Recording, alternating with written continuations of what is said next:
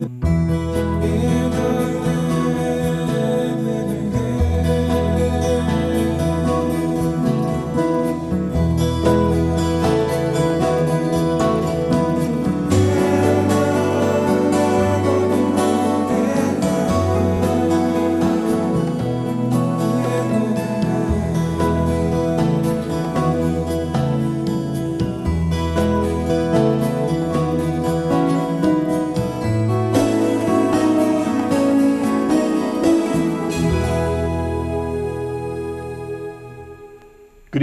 welcome to the Journey Home. It's open line first Monday, and that's the uh, time when you're an even more important part of our program. Your questions by phone or email set the stage for our discussion tonight.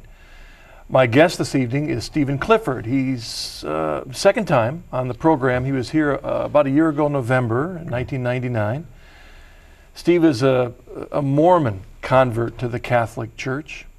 And I know the first time uh, we were on the program, uh, a lot of questions, more than we could answer in that one hour, and that was a great incentive to have you back. So even though it's open line, uh, part of the emphasis tonight will be questions about Mormonism, if that's what you want to ask tonight. So you can even start calling us now at 1 800 221 9460 or send us an email at journeyhome at EWTN.com.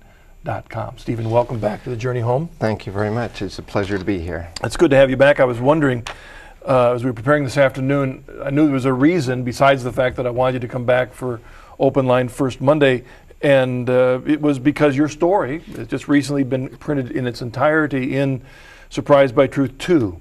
Right. And I'm, in fact, trying to get all the those featured in this book on the program as I can over the next year. So if you want the whole story, look into Surprised by Truth 2, which you can get either through EWTN's catalog or probably the Coming Home Network. Uh, you can call our number later. But it's always good when we start the open line right. to give a bit of a summary to remind them about your journey. Certainly. I was born and raised um, in the uh, Church of Jesus Christ of Latter day Saints, uh, LDS or Mormon, as they're sometimes called. I'm a fifth generation Mormon. Um, my um, ancestors go all the way back to 1832. They joined the Mormon Church about two years after Joseph Smith founded the church. So the first generation? The first, wow. very first uh, Mormons uh, were, were some of my ancestors. Wow. And eventually they ended up out in Utah in 1852. So they made the big um, trek out there? They made the big trek out there, right. were they in the movie? The I don't know if they were in the movie, but uh, the movie was about that, that period That's of time. Right. Right. Um, but it was it was a difficult time for my family. They uh, went through the persecution that the Mormon Church went through and suffered through in uh, Missouri, uh, Clay County, Missouri, and Jackson County, Missouri, and um, once they made it out to Utah, then then the Mormons settled in and, and really started to to grow and pros prosper. Uh, I was raised in the Mormon church. Um, I, I went to church. I did all of the things that the good Mormon youth are supposed to do and uh, went through the Mormon seminary program in my high school. And when I uh, turned 18 years old, um, I decided that I was not ready for a mission. Mm. So I uh, joined. Is that normal? It's normal for. Did they have an option? Uh, yes or no? Right. Th they have an option, but the pressure is certainly there to okay. go on the mission. And I, I got a lot of pressure to go on a mission. Um, I just didn't feel like I was ready to do that at that mm. point in my life. And the military, even though it was at the height of Vietnam, seemed like a, a, better option for me at that point. That's so interesting. Yeah. You'd rather go to Vietnam than the mission field. Very interesting. but I, I, ended up in Germany, actually, which was a blessing. Um, I, in Germany, I met and married my wife, Anna. And um, she uh, was Catholic at the time that we were dating, and we were married by a Catholic priest. Mm -hmm. um, I uh, was a Mormon uh, at that time, and I remained a Mormon for 22 years of our married life. Wow. Uh, I was an active Mormon. Uh, uh, I was active for the first year that I left home, and then I, I became inactive. Okay. Um, and actually, I became an active uh, non-Catholic, if you will. I, I went to Catholic Mass a lot with my wife and, and my two daughters. Hmm. I had agreed that our daughters would be raised Catholic. And uh, so we did that. We raised them Catholic, and I went to the masses, and I um, went to First Communion with my daughters, and did all of those things that fathers should do. But I was not going to be a Catholic. that, that was just not one of the options that I was holding open. Um, So but what twisted your arm? things changed.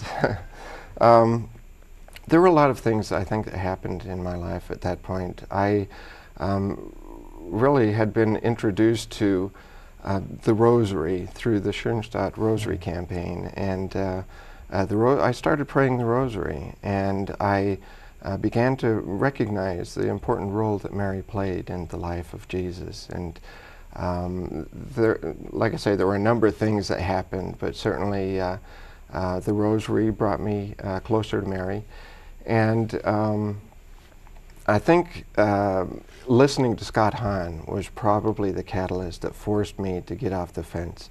I heard Scott Hahn give a talk, and and I determined in my mind that I was going to convert Scott Hahn to Mormonism. Uh, I felt that he had just not quite done his homework properly, and ended up in the Catholic Church rather than the Mormon Church. So my initial thought was to see if I could convert him, and uh, in the process, uh, I ended up Catholic. All right. I can imagine that's a big task uh, decide you're going to take Scott Hahn on. Right. Well, I didn't realize that at that time. I didn't really know exactly who he was. Uh, I knew that he gave a very convincing argument, so I felt that I needed to give an equally convincing argument, and that's why I, I began the research. And the more I researched on the Mormon Church, especially the early Mormon Church history, the more I came to realize the problems and the inconsistencies and the, the things that just don't quite fit. Um, and I began to ask questions, and, and uh, then I, I researched my way into the Catholic Church. Well, a little bit ago, I saw an email floating here. Maybe they could find the one I was pointing at because it f- it fits with the first question that I was going to ask Sure. you. Uh, at least gets in with the subject that I know that you want to talk about because there's so many questions, and our hope is that you at the home audience will have lots of questions about those men in suits that stop at your door often or riding bicycles around town. Uh, so we'll take your questions on that. But uh, this, I, I thought this one. Um, this one deals with the question which you mentioned when we were at our short meeting this afternoon. Uh, so we'll take this first email. This is from George Wilson. Dear Marcus and Steve, I recently left the Mormon Church after about 16 years and returned to the Catholic Church after a powerful revelation while in the hospital. I believed in the apostasy notion, which I now reject, but I'm still having trouble explaining apostolic succession to my Mormon friends. How can I best explain why the apostasy is wrong and the apostolic succession is correct? There's an introdu- introduction Right. right into an area that I know that you want to talk about. Yes, exactly, because I believe this is really the crux of the issue between the Mormons and, and the Catholics, um, is this issue of authority. Who has the authority to teach and to speak on behalf of Christ? Who has the priesthood authority to act in that capacity? Um, the Mormons do believe in uh, this theory of, a, of an apostasy, uh, that the early Christian church became an apostate church, that there was a total apostasy of the entire church, and that the gospel was lost from the earth, and the priesthood authority was lost from the earth. Now, let me say something there. Yes. Because there are other traditions that also believe in that. hmm There are Christian traditions that believe in that. The Church of Christ believes in that. Many fundamentalist Christians believe that everything went astray early on, and some have a hard time putting a date on when. But I'm often wondering if a lot of these groups all arose about the same time. Uh, that's that's an interesting point. Yes, actually, I think they did. A lot of them uh, came up around the same time, and and interestingly, um, um, upstate New York seemed to be an area where a lot of that uh, that was happening. That's That's, right, where in the Mormon early Church. 1800s, that's Right, right. 1830 is when the Mormon Church was started, right. and there were other uh, churches uh, uh, that got their beginnings at the same right time. At the same time. Exactly. I think yeah. the whole modern idea of, of the um, uh, rapture right. with Darby, Right. that whole new theology, which is very popular now in the Left Behind series, Mhm. that was drummed up during that same time And, and Methodism, I think uh, the Methodist influence had a, had a great deal to do right. with uh, right. with that period of time as well. I'm sorry to interrupt. It. Um, there, back to the question of the apostasy. Certainly, that is the key issue in my mind. Mm. If we can um, explain and, and defend our position, and the Catholic Church position is that we have uh, apostolic succession, that um, uh, Jesus founded a church, and that church that he founded was founded upon the rock of Peter. Mm. And he made a promise that the gates of hell would not prevail against this church. So we've got a promise from Christ that that the church will not fail there. There are several other places in the Bible that we have uh, similar promises of um, the uh, perpetuity of, of the church. Um, Matthew 28 20. Um, uh, go preach the gospel to all the nations, and lo, I'm with you until the end of time. That's right. Uh, he made that promise. Those are those are very specific promises to be with the church, and that the church would um, continue to to exist. Um, the uh, commission to go out and preach to all the nations. You Mhm. cannot go out and preach to all the nations unless the church is going to be there to back you up. So we have um, apostolic succession uh, that we look to, and and this is demonstrated in the Bible as well. When uh, Matthias was was chosen to replace Right. Judas, um, and and this kind of shows that that you know Mhm. another needs to take the the bishopric, if you will, Mhm. uh, to uh, succeed to the apostles. Now, one of the one of the things that sort of marks the Mormons different from us is that the Mormons believe that there should be uh, 12 living apostles at all times. And um, of course, you know, the Bible tells us that, that the apostles had a very special and unique role and that they represented the, the 12 tribes literally. And um, there were two criteria to be an apostle. One was that you had to um, you had to know Christ during his life. You had to have uh, um, known him, and you had to be a witness to his resurrection. Those were the two criteria for, for an apostle. And uh, certainly the Mormon apostles today do not meet that Can't criteria. They that. can't claim that, right. that they're able to fit into that criteria. But we do believe that, that the successors to the apostles were not apostles themselves, but they were the bishops of the Catholic Church. Mhm. And those same bishops continue to teach um, and preach with the authority of Christ by that succession that they received from the apostles. And the Catholic Church teaches and believes that because we see scriptural foundation for that. We see foundations in the early church for that. Right. Uh, as soon as the early persecution had ceased at the end of the fourth century, uh, end of the third century, and opened Mhm. up there during Constantine, we see the writings flourishing, and we see the the development of the apostolic succession much more public. You know, during a time when to make it too public meant Mhm. death for all the early popes. In fact, Mhm. um, what did the Mormons do, for example, with uh, you know John 14, 15, and 16, where Jesus promises that the Holy Spirit will be given to, for the very reason right. to give them the truth. Send and the comforter. The comforter will come, and yeah, it's um, it's interesting. They, um, I've I've heard Mormon apologists try to explain this by saying that the church was r- really continued to exist, but it existed in heaven as opposed to existing here on earth. So. Um, my, my response to that is that sounds very Catholic Yeah. because we have the church militant and the church triumphant and the church suffering, you know. So we have this sort of same uh, pattern of, of the church in heaven and the church here on earth as well. They the just, communion they, of just thought that that part of it was truncated Right. for 1,800 for eight- years. close to 1800 years. It's hard to say exactly how long because um, you cannot get a Mormon apologist to tell you exactly when the apostasy took place. Yeah. They can show you little um, uh, phrases out of out of the Bible, uh, parts of Scripture that may indicate that a a apostasy perhaps was happening at that time or would happen in the future.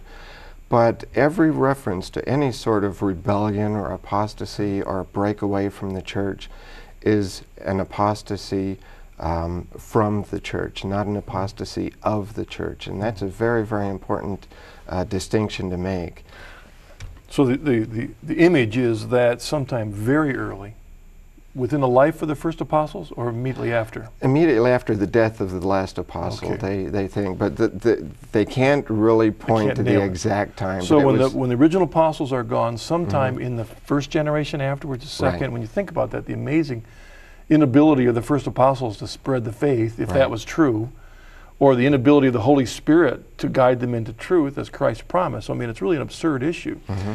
But we envision that at some point the church is lost, the truth is lost, Mm-hmm. until it's dropped down on these golden tablets to Joseph Smith in Right. 1830, right? I mean, Right.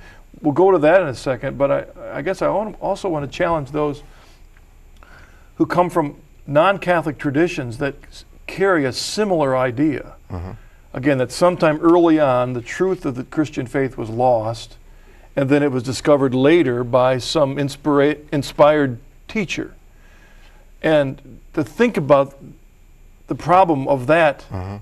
not just in relationship to Mormonism, but any of these other groups that claim separate authority from the Catholic Church. Mm-hmm. I don't want to name any of the reformers or something, but there's really not a whole lot of difference. Right. Because, and that's why, uh, uh, getting back to what you're saying, the authority issue, if anyone wants to claim authority today, or that the founder of their particular tradition had this authority, they always have to end up with that kind of an explanation. Right. That somehow it was lost. It was lost somehow. And, and I think one of the other important scripture references that we can use is 1 Timothy 3.15. The pillar and foundation or bulwark of the truth is the church. Church. The Yeah. church. And if it's the pillar and foundation of the truth, how can it, in, in a few years after Christ had instituted the church and made these promises, vanish? Yeah. It, it just doesn't make sense. Yeah. Uh, Many try and, and uh, bridge that gap by saying, well, it's the Bible. The Bible was there all the way through. But again, if you look at history, the Bible as we know it was not collected, the canon wasn't collected until sometime in the fourth century. Right, 392 and Three- 397. So if you know history, you realize that that's an absurd option, which is even gets us into Mormonism uh, in the idea that these golden tablets that represent the truth that Joseph Smith supposedly discovered, were they created then, or had they been preserved? Yeah, How does that- Mormonism teach that idea? How did, where did the Book of Mormon come from? I guess is uh probably the better uh, question. The Book of Mormon really is a history of an ancient people that the Mormons believe um, um, were on the North American continent um, and, and South America and Central America. Um, the history of these two civilizations starts with a um, um, the happenings at the Tower of Babel when when the um, the tongues were you know the people were confounded by the uh, languages, and the Mormons believe that at that time there was a man named Jared that brought um, his his people across to the South and Central America, and this is about 2200 BC that they, they claimed the Jaredites uh, settled in the uh, South and, and Central American uh, area. These uh, Jaredite people uh, lived until about 200 BC, at which time there was a great battle uh, at the Hill Cumorah in upstate New York, and about 2 million of the Jaredites died in this battle, and uh, the Jaredite people uh, vanished from, from the earth. But also in conjunction with that, there was another civilization that started up about 600 BC. And um, these people were uh, descendants of Lehi. The uh, two sons were named uh, Nephi and uh, Laman. So the, the two peoples that came from Lehi were the Nephites and the Lamanites. And uh, the story in They the Book of Mormon. lamination? Or the no. yeah. And, and the story is that um, these people lived on the American continent from 600 BC until about 421 AD. And the Book of Mormon talks about how Christ, um, after his crucifixion, yes. came to the American continent and visited with this ancient people and preached the same gospel that he preached in the, in the old country, in the Holy Land, and uh, established the same church with 12 apostles um, and, uh, and told them to go out and preach and teach the gospel just like they did in This in is in the Book of Mormon. In the Book of Mormon, This right. is where this all this comes from. That's where this comes from. They, um, there was a great battle in the year um, around 421, again at the Hill Cumorah in upstate New York. And uh, the Nephites, who were the good people, were all slain by the Lamanites, who were the, the evil people. And eventually the Nephites disappeared from the earth. This is the record that was left behind by the prophets all the way from uh, back at the time of, of Jared and talking about the Jaredites up through the Nephites and the Lamanites. The last, um, one of the last prophets was named Mormon, and his son uh, Moroni was the one that buried up the plates in, in the hill. And, and uh, the plates were buried um, from about 421 AD until um, 1827 when Joseph Smith was allowed to, uh, allegedly allowed to uncover them and to translate them. And then the Book of Mormon was published in 1830, about the time the church was, was started. Well, I know that the, I've never read the Book of Mormon. Uh, I think at one point I received my own copy from the missionaries and glanced through it a Mm-hmm. number of years ago. But uh, yet, an, it's, it's still an amazing book that has convinced millions of people. Right. Right. And we have an email which tags right into what we're talking about. Mm-hmm. This is Michael from Falls City. Dear Steve, I've heard that there isn't any archaeological evidence in support of the Book of Mormon, but an LDS missionary told me otherwise. Is there? Right. That's a, it's very interesting. The um, Brigham Young University, which is a, an LDS school, um, has got archaeologists and researchers and historians that have been working on this for years and years to try to find evidence to support um, the uh, Book of Mormon. Um, they would claim that they have plenty of evidence to support it. Um, I know of absolutely no um, archaeologist, historian, any, any, anyone with any credibility outside of the LDS Okay. uh, channels that, that would um, even consider the Book of Mormon to be historically accurate and correct. Um, and they, they wouldn't use it for any, any sort of. Uh, What's an reference. alternate explanation to the source of this book? Um, what's happening? Well, uh, there, there are a lot of theories on where it came from. One of them is, um, and, and it, it looks like it's pretty well justified, that there are a lot of passages in the Book of Mormon that um, come almost directly, word for word, out of the King James Version of the Bible. Now, the King James Version of the Bible was brought to us in about uh, 1611, somewhere around there. right.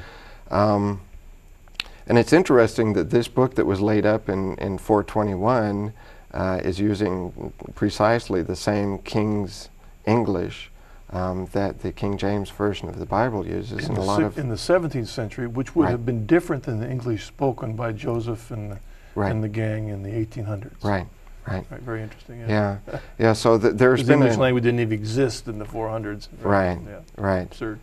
And uh, of course, the um, the Book of Mormon was allegedly translated from these golden plates, which, by the way, um, are no longer here for us to look at as evidence. They uh, supposedly were taken back up into heaven, so we really don't have any evidence other than the testimony of Joseph Smith um, that they existed. He also had some witnesses, of course. He wanted to try to make sure everybody believed it, so he had some witnesses to testify. Um, as to the accuracy and the, and the truth of the Book of Mormon. It's interesting of the um, the eight, the eleven witnesses. There were a total of eleven witnesses um, to the Book of Mormon. Eight of them uh, left the Mormon Church. Some of them came back to the Mormon Church, but the majority of them stayed away from the Mormon away. Church. And these witnesses were primarily from the Smith family and from another family, uh, the Whitmer family. So they, they really were not uh, the most um, unbiased and, and uh, uh, of witnesses. There's been a, a whole lot written about Joseph Smith himself and his Mhm. integrity and and all of that. And of course, once once you become a persecuted people, right, then uh, then there's there's the there's the claim whenever we would point out something negative that we're being prejudiced or, Right. or bigoted. right. And it's very important that we don't fall into that trap of trying to, to um, persecute the individual or to uh, condemn the individual or uh, belittle the individual. And we're not talking about people individually, we're talking about the, the belief system. Um, Mormonism started off, the claims of Joseph Smith was that he was told by God that um, all churches were wrong, that they were all apostate, that uh, none of them had the truth, and that he would have the truth revealed to him. So, the you know, I mean, the original claims from Joseph Smith were that we are all wrong, and that that includes Yeah. Catholic Church. that uh, our claims to, to the truth and, and to, to the historical facts simply are, are not accurate. And, and so I, you know, it's incumbent on them to explain to us, um, you know, what they believe and then allow us to explain what we believe as well. Um, you mentioned earlier the issue of authority Mhm. in the Mormon church.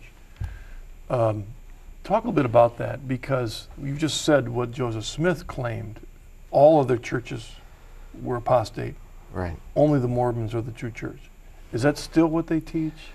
Yes, um, they they don't say it as loudly and as boldly and as um, uh, confrontational as they used to. But yes, I, I mean, um, in order to claim that they're the true church, all other churches can't be Yeah, true. All right. Um, you can't have um, our truth, which is totally opposite from their truth, um, also be the truth. So, if if their truth is true, then that makes our truth false, and so we, you know, we need to we need to come to grips with what is truth and what what is the truth, so that we can make sure that we're following. Um, It seems to words. set the stage for an awkward question, which often arises, and that is the other side. People, well, are the Mormons Christians? Mhm. Talk about that from your own Okay. journey of faith. It's very important. The Mormons um, today are, are um, going to extreme measures to um, kind of mainstream themselves into the Christian uh, In fact, they give away free King James Bibles on television. They do. Um, and uh, of course, they have the name of Jesus and the name of their church. Excuse me. So they're very um, interested in trying to portray themselves as being Christian. And um, they would they would tell you that they are a Christian uh, church. They believe in Jesus Christ. They're followers of Christ, and therefore they are Christian. I think it's very important that we define exactly what we mean by Christian, because um, what we understand to be Christianity and what the Mormons understand may not be the same thing. We may be using the same terms, Yeah. but the definitions are different. So I find it, it really useful to go back and try to define exactly what we mean by what is a Christian. Belief in one God. This is Yeah. my my understanding now after As after having as a Catholic, belief in one God, uh, the Creator of, of all things. Um, um, we also believe in the, the Trinity, That's right. three persons and one divine nature, and that's extremely important because the Mormons um, see God and see Christ as being one of many gods, and that the ultimate goal of, of every Mormon male is to eventually attain godhood themselves. So, um, from that perspective, if we're talking about a Christian being, Now we're talking about two We're different talking about two different Christ, things, right. Who is Christ? God, the Holy Spirit, right, who we are, our nature, Our all of this is completely different. Exactly. Different pages. exactly. So, if we can come to that understanding of the definitions, and if I tell you what my definition of Christianity is, by the way, I'm not making this up. It's 2,000 years worth of tradition and, right. and Catholic teaching and, and uh, understanding of what Christ taught and what the apostles taught and uh, what was Mm-hmm. written and, and canonized in the scripture. That's where we get our faith from. It is very interesting on this program how often the subject is always brought back to the issue of authority. Who has the authority to determine what is true? How would we understand Christ? And from the very beginning of the church, there were all these other groups that had a new gospel, and that's what the church had to had to fight and many people to die for the defense of what was the true understanding of the gospel, as opposed to those who had stepped over the line into things that seemed very similar Right. but not the same. Right. I mean, we as, as Christians talk about uh, growing um, in the divine life Mm-hmm. as we become in union with Christ, but we don't become gods. Right. It's a completely different understanding. Let's take a break. We'll be back with your questions for Steve on his journey or anything else that might come to your mind as you've heard about Stephen talking about his journey from the Mormon faith into the Catholic Church. Be with you in just a moment.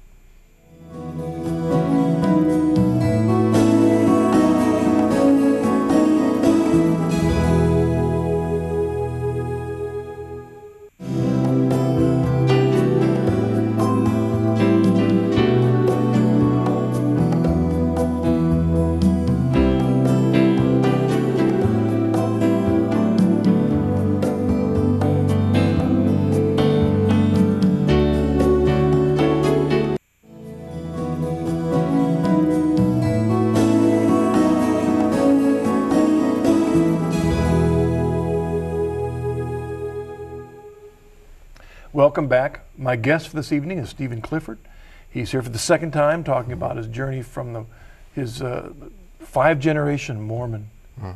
upbringing into the Catholic faith. And I really do believe that many of the questions that you're, you're dealing with deal with more than just the Mormon church. They have to deal with the issue of authority Right. to determine which is the true, dependable Christian authority to determine what is true Mm-hmm. and must be believed. Uh, and you mentioned earlier to me this afternoon a book that you recommended to, to folk. Maybe you could mention to Yes, I've uh, one of the books that I read that was very, very helpful to me was a, uh, a small booklet called "A Christian Looks at Mormonism," and it was written by um, Father William J. Mitchell. Um, he's now retired, but he was a priest in Utah for many, many years, and he wrote this little booklet on uh, uh, Mormonism from a Christian perspective, really trying to um, help people to understand what the Mormons teach and believe, and this, the, the similarities and the differences between uh, Christianity and, and Mormonism. And um, I, I found the booklet to be probably the, the best explanation of Mormonism from a Catholic perspective um, that, that I uh, recommend to anybody. Uh, it's, it's an extremely good book. I have it available on my website along with a lot of other uh, information on. Mormonism. All right. Um, I think your website, if it isn't right now, at some point during the program, your website will be posted where you can get actually download the entire copy of this book. Although this book may also be published by Catholic, Catholic Answers. Answers, I think, has got. Uh, they should still have the book available there. Yes, and, And- and, it's a it's a great book. Um, it it is written very honestly, openly. Um, it is not. Um, like some of the books that I've read have been very, very critical of Mormons, the Yeah. people themselves, and and uh, have said things that, that I thought were Uncharitable. uncharitable. Yeah, and uh, I found that this book was very, very fair in, in the way they that he dealt with it. All right. Let's take our next email. This is uh, from James Jonda. Dear Mr. Clifford, how is the LDS Church able to convince their youth to go on two year missionary trips? As Catholics, can we learn anything from them in giving our own youth a missionary spirit? Right. That's a great question. Um, the Mormons do encourage their youth to go on missions. Uh, it is a two year mission, and they do it at their own expense. Um, and it, it's quite a commitment because they, um, they could go any place in the world and they're very, very limited in what they can do and who they can contact while they're on the mission.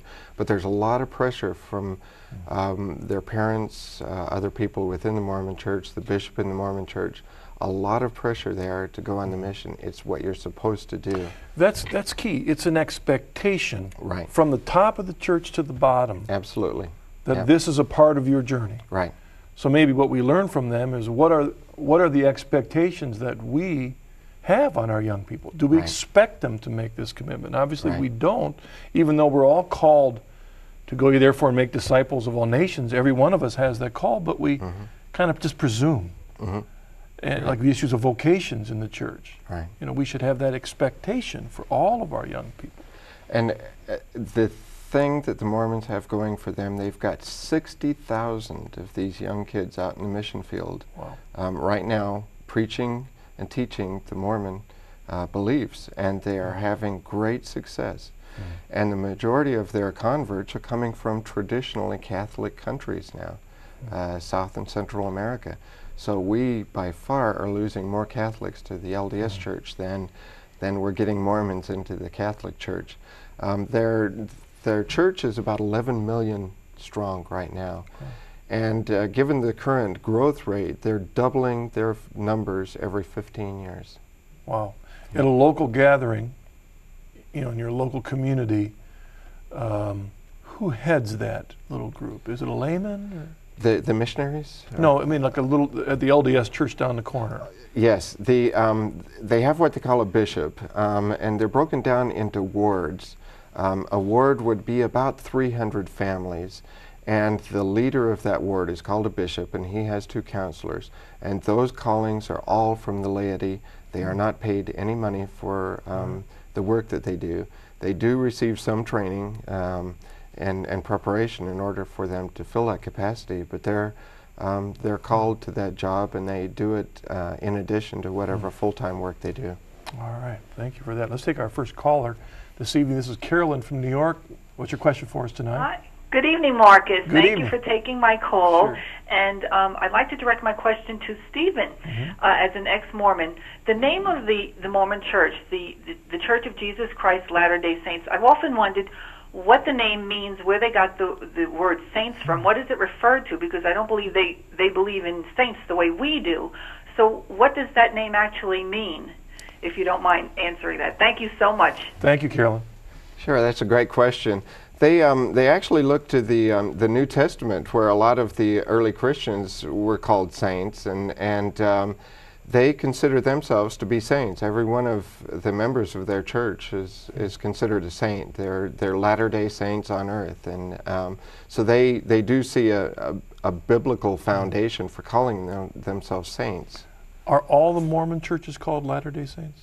Um, that's that's kind of a touchy question because th- there there are actually uh, over a hundred different variations of, Is that of right? the um, the I thought it was about two Latter-day or Saints. three. No, no, there's there's over a hundred of them, and and the um, the split off of the the church began even while Joseph Smith was still alive, but.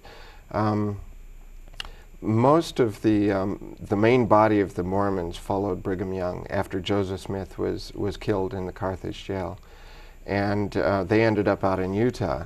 But Joseph Smith's family refused to accept Brigham Young as the successor to Joseph Smith. Uh, they they believed that their um, that Joseph's oldest son had a, a patriarchal blessing to be his successor, and they felt that it was it was a patriarchal church that, that the father passes the leadership to the son. So the leadership needed to remain in the Smith family in order for the church to be to be uh, continue on. So eventually, the Smith family came back and founded the reorganized Church of, of Oh, Jesus Christ. Right. Is that the group that was in Ohio? Um, they're in Independence, Missouri. Okay. They're headquartered in Independence, Missouri, and um, they're probably the second largest after the Utah um, uh, group. But there were also a number of other groups that broke away at the same time, and and uh, All some of them looking back, though, to Joseph Smith. all of them looking back. Some Okay. of them accept only the Book of Mormon as um, the inspired scripture that they accept. They don't accept the, the uh, other two books that Mormons consider part of their uh, standard works, the, the Pearl of Great Price and the uh, Doctrine and Covenants. And also, um, they don't they didn't accept the original teachings on the plurality of gods and polygamy. That was a big problem for for a lot of those that were broke those, away. were those often issues that con- continually divided? And Yes, yes. All right. Okay. I know racism was an issue at one point, right? It was, yes. Yeah, th- the um, Mormon church up until 1978 would not allow uh, blacks to hold the priesthood. Um, and uh, it, it was considered that, that blacks had the curse of Cain. And, um, you know, Cain killed Abel and was cursed with a darkness of skin. And that darkness of skin, it- the mark. But they really- believe the mark was a darkness of skin, which is the, the, uh, Right. the And that's interesting about their authority. It's an example of, you know, as Catholic, the Catholic Church, our magisterium around the seat of Peter does, Peter does not believe that it can change, Right. Uh, given the whims of culture, the pressures of culture, and we know that from the last 30 years when there's been a tremendous amount of pressure on the Vatican to change some some uh, opinions in morality that our, our cultures are finding uncomfortable, right? Right. Well, it seems to me in the history of, of Mormonism, there have been some major changes. Lots of changes. Polygamy is one, one example of that. The um, doctrine of polygamy was considered to be an everlasting uh, um, covenant, and uh, th- that was that was supposed to be here for all time. And uh, the pressure came to bear from the United States government on the, the people out in Utah to um, to stop it because you know of course Yeah. it's against the law to have more than one wife and so uh, in 1890 the Mormon Church suspended uh, polygamy as as a practice But They there's still a large group that still practice that. Is that a separate breakaway? it's a breakaway group right because the official um, Church of Jesus Christ of Latter-day Saints position is that you you cannot and you do not practice polygamy and if if they're caught practicing polygamy they're excommunicated All right, let's take our next caller. This is Mary from Kansas. Mary, what's your question for us tonight? Uh, it's for Mr. Clifford. Yes. I wondered if Mormons have baptism And if so, was his accepted by the Catholic Church? Thank you for your question. Great, good question. Uh, yes, Mormons do baptize. They baptize at the age of eight.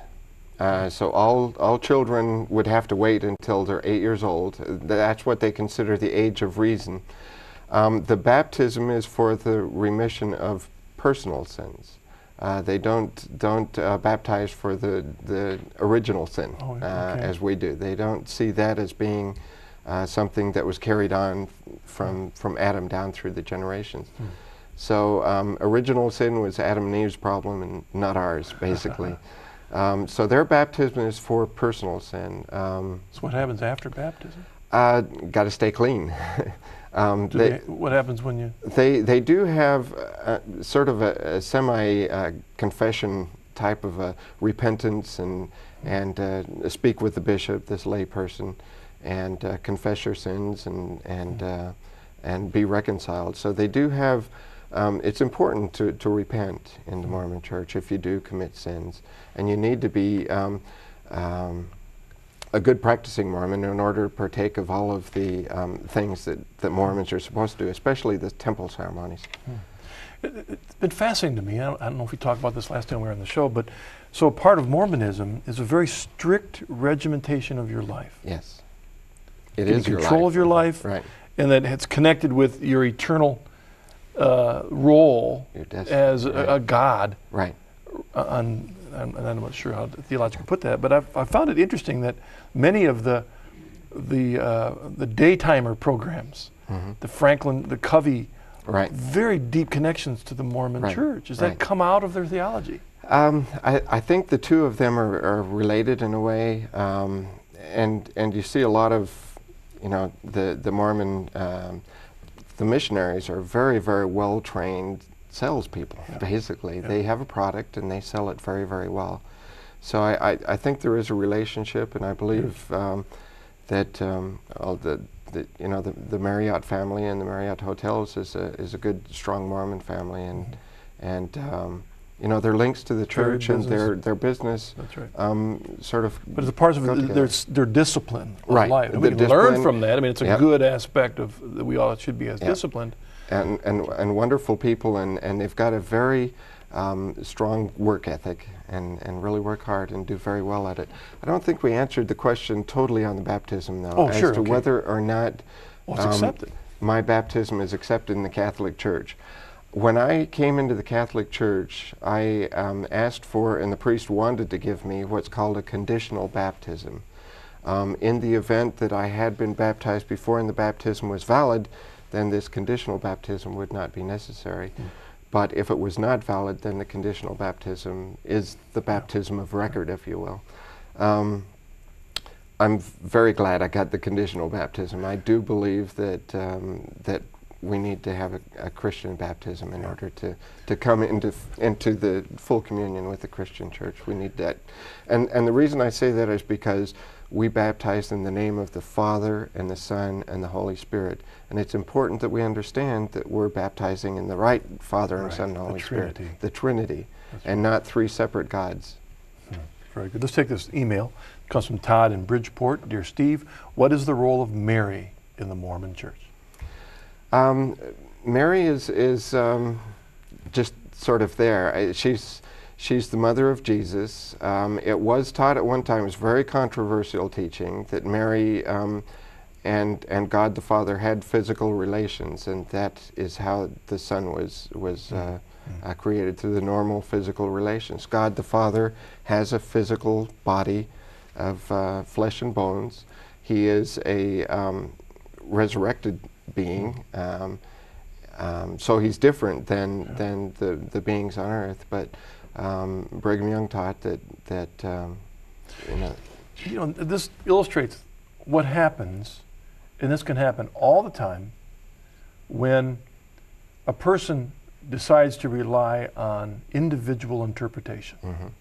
Because there are many scriptures in the Old Testament where we see expressions of God, you know, he re- God repents, uh, he's upset, he's angry, um, that are using human characteristics to describe an indescribable God. Right. So unless you have an authority that teaches you how to understand that, you can have, you can come up with a very description of a physical, emotional, Sure. changeable God.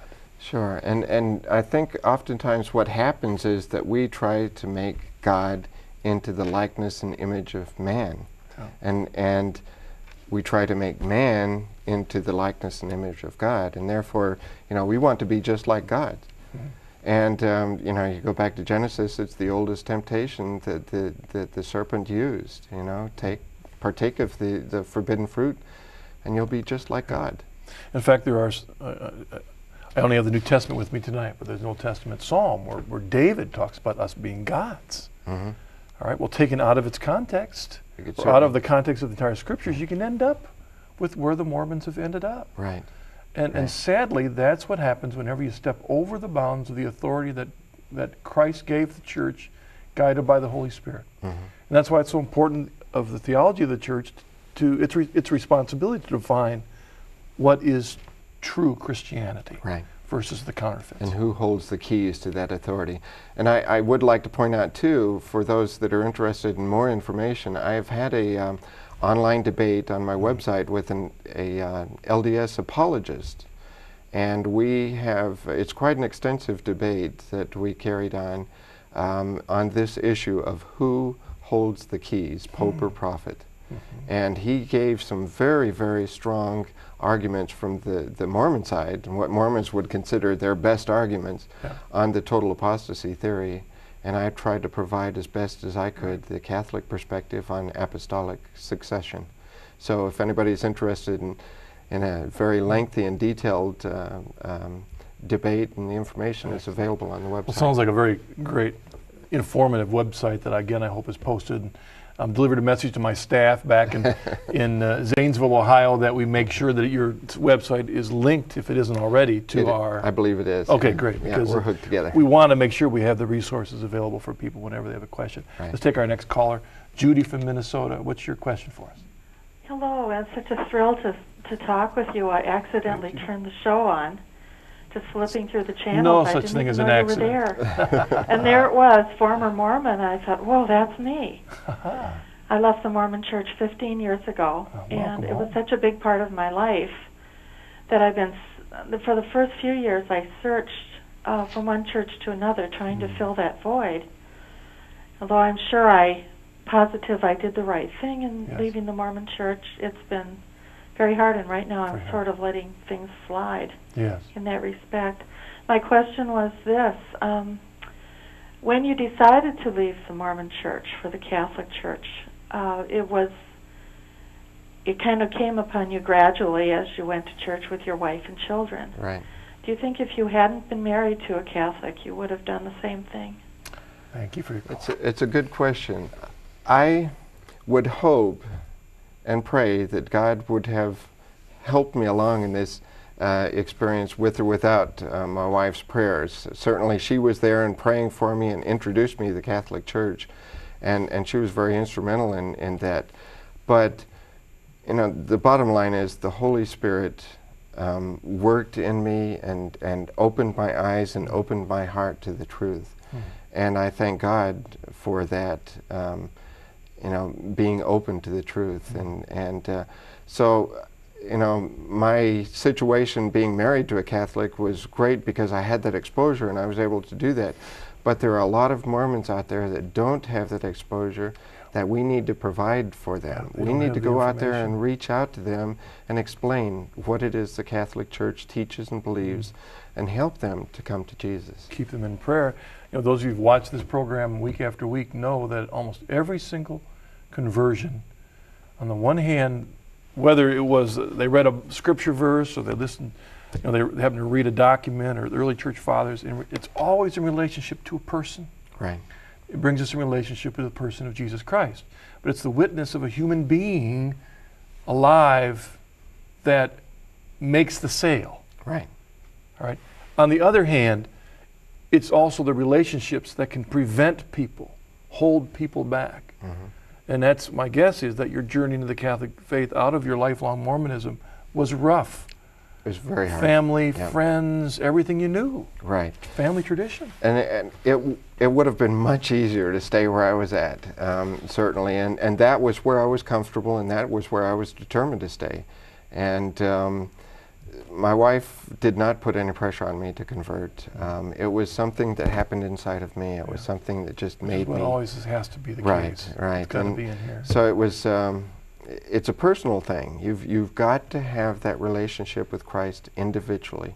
Me, myself, and and Jesus has got to come into your life, and um, when that happens, and if you are open to the Spirit working in you, then then things happen, and they happen rapidly. Well, here's an email from Lisa Carlson in Nebraska. Dear Steve, I know a little bit about early Christian writers and know that the Trinity is discussed, if not the word, at least the idea. How do Mormons discuss this early witness? Um, actually, this Mormon apologist used the early church fathers in a lot of his arguments, and it, it, if you search hard enough, Yeah. you can find just about anything to support whatever uh, preconceived notions you go into the search. Which with. is true of Scripture itself. absolutely That's right. absolutely. So, um, if you if you read this apologist's arguments, you will find him using the early church fathers to support the total apostasy theory. Um, and and you could probably uh, find um, you know Arianism and, and other heresies that the church combated from the very beginning. You will find um, you know the um, uh, writings that you need to support whatever Yeah. argument you want to put forth. So it boils right back down to who has the authority to make that final decision. We all have our own ideas, but who has the authority to say hmm. you're right and you're wrong? That's very interesting because that's the same thing that happened during the Reformation. It's that the, the reformers themselves had lots of quotes from St. Augustine and other church fathers hmm. to defend the changes that they were making in the understanding hmm. of justification and Scripture. But again, who has the authority to pick which of the quotes from the early Right. fathers is to be definitive, or why not look at the whole package and recognize that hey, Justin Martyr was a wonderful saint, but he wasn't perfect Right, y- you know, not everything that he said necessarily right. is infallible. You Right. need an infallible teacher to discern that. Exactly, right. Uh, it looks like we have another email looking at us. This is from Terry. Thank you. Hello and God bless. My question is this I have a friend who lives overseas and was raised a Catholic. Within the past year, she converted to the Mormon faith. I believe there was a romantic influence involved. I have sent her various articles and have emailed her several times. I have prayed for her often. Is there anything else I can do to reopen her eyes to the Catholic faith? There's two questions here. The last one, what can she do?